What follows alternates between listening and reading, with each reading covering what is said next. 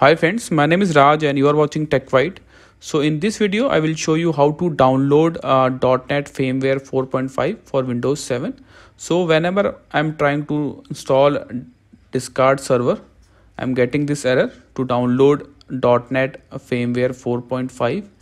So in this video, I will show you how to download it and where to download .NET Framework 4.5 easily for your Windows 7 so I will first uh, close this or you can directly go to the browser.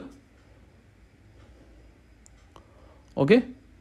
I will put the download link in description. This is the download link. So this is your official website for Microsoft. So now click on download. Wait for a second and you can see the download has been started I will fast forward this video. So now after download click on it to install. Now your .NET Framework is installing. I will put the download link in description box.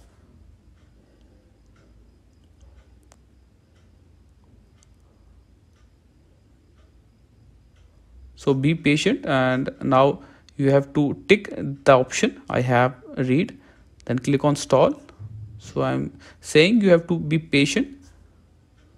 It will take time around 15 minutes 10 to 15 minutes to install. This uh, .NET Framework 4.5 I will fast forward this uh, video.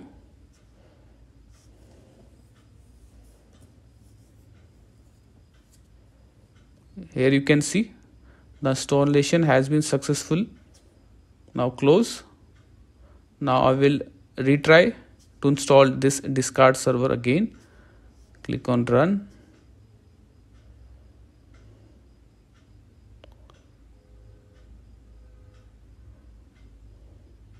Now here you can see.